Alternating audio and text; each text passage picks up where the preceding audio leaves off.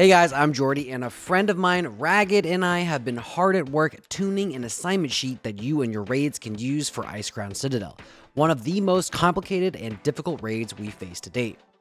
And we want to give it to you. Below is a link that should automatically make a copy for you to use, and in the rest of this video, I'm going to go over what's in it, how to use it, and some extra features that could be helpful. Okay, so here's the sheet. Step one is going into the roster tab and deleting all of these sample names and classes and inputting your own raid. If you've got a 30 to 40 person roster you draw from, you can fill these all out and then use these checkboxes to confirm their slotting for that week, as well as the availability on the right for you to use if you need it. Once all that's done, we go back to the intro page and proceed to this box, the raid roles.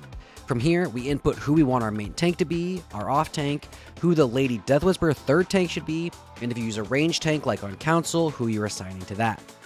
Then the healers, starting with the Paladins on tank healing, then a Resto Shaman and a Disc and your Resto Druid. The final box is for whoever you want to flex up to heal. Let's do the Shadow Priest in this example. From here, we move through each boss tab and confirm our assignments look good.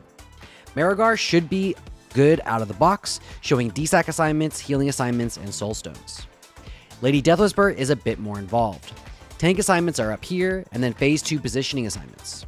Each name is associated with a section on the map where you want to spread out. Following this, Frostbolt, interrupt rotations, decurse assignments, and interrupts for the ads.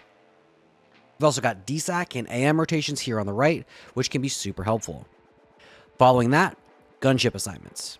This one's easy, who's in the cannons, blah, blah, blah. Now, Saurfang is a bit more complicated. There are lots of little things that need to be managed. Flesh Beasts are assigned on the right here, with the associated Flesh Beast denoted on the map. Then ranged and healer positioning assignments linked below, and Blood Boil and AM Devo assignments here to help get those cooldowns rolling. Finally, on the right, we have Mark of the Fallen Champion assignments and DI assignments, should you want to use them. These drop downs let you adjust who's healing, what mark, and if you want to change them. On to Festergut, we've got healer positioning assignments and raid cooldowns for the spores. Not too bad. Same with Rotface, a positioning map to help you sort that out, as well as assignments listed, and then unstable ooze explosion assignments should you want to use those. Now, Putricide. This one needs a lot of little things, and it should all be listed here. Volatile Ooze Eruption, DSAC assignments, Mutated Plague raid cooldowns for Phase 3, as well as who is soaking which stack as the phase goes on. We've also got Unbound Plague Soulstone assignments on the right should you go that route, but of course not required. Now on to Blood Prince Council, Empowered Shock Vortex DSAC assignments, Empowered Flame AM Fire assignments, and then where each person is placed when Valanar is empowered for that Shock Vortex Pulse. Super handy. Now we've got Blood Queen, which has positioning as well as a bite order. You can set who you prefer your order to be and then dump this text into your weak aura to push it in that direction, or just not use it at all and you'll be fine, whichever you prefer.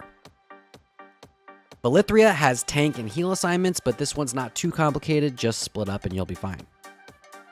And Sindragosa, for your ice tombs, you're going to want to use cooldowns as they land, and then cooldowns planned for phase 3, all listed here for easy reference.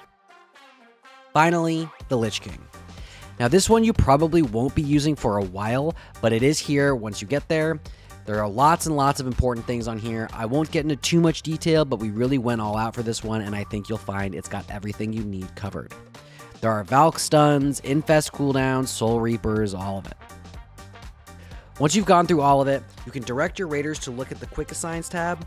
It should be pretty handy should you want to just tab through the important stuff and for your warlocks, a simple soul stone assignment page so they know where those stones are going boss by boss for easy reference.